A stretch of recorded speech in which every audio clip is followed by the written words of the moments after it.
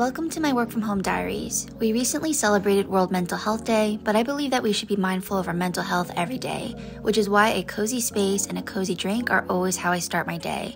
There are a lot of things that I do to take care of myself. One of the most important is making sure I have clear boundaries between my work life and personal life. So I use Slack to communicate with my team, and it has a lot of features that really help out with this. For the times that I'm not available, I can set my status to let my team know. This is perfect for establishing boundaries and letting your team know when it's appropriate to ping you.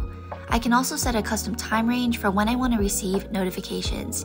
I set my notifications from 10 a.m. to 5 p.m., and this really helps my work life balance and prevents me from thinking about work when I'm just trying to relax. Enjoy a cozy work from home day and check out Slack to improve your team communication.